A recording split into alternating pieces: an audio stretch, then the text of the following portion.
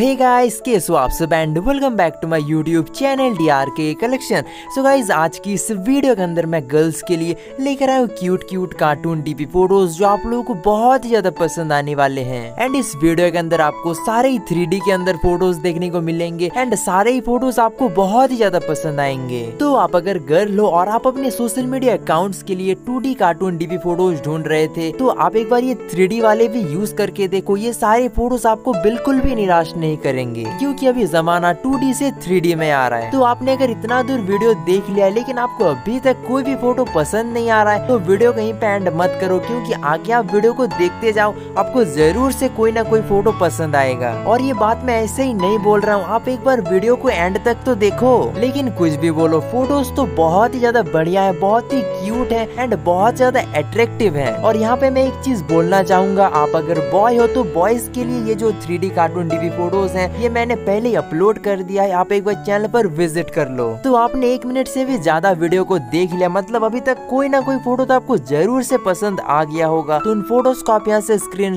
लेके अपने social media account जैसे की व्हाट्सएप फेसबुक इंस्टाग्राम के डीपी में या स्टेटस में या फिर स्टोरी में आप यूज़ कर सकते हो। या फिर आप अगर चाहो तो इन फ़ोटोज़ को अपने स्मार्टफ़ोन के अंदर वॉलपेपर भी सेट कर सकते हो। और आपको अगर लग रहा है की आपके कोई फ्रेंड जो है, ऐसे फ़ोटोज़ बहुत ही ज़्यादा यूज़ करते हैं या फिर ढूंढते हैं तो आप ये वीडियो उनको शेयर भी कर सकते हो। तो गाइज़ ये वीडियो देखने में आपको अगर थोड़ा सा भी मज़ा आ रहा है तो अभी कभी इस वीडियो को एक लाइक कर दो एंड चैनल पर न तो चैनल को भी फटाफट से सब्सक्राइब कर दो एंड बेल नोटिफिकेशन को भी ऑल पर प्रेस कर दो, ताकि आप लोगों को मेरी आने वाली वीडियो की नोटिफिकेशन सबसे पहले मिल सके। एंड नीचे कॉमेंट करके बताओ की वीडियो आपको कैसा लग रहा है एंड आने वाली वीडियो आपको कौन से नए नए टॉपिक पर चाहिए। तो गाइस चलिए आप लोग आगे इस वीडियो को एंजॉय करते रहिए। वीडियो भी खत्म नहीं हुआ सिला वीडियो को यहीं पे एंड मत करना।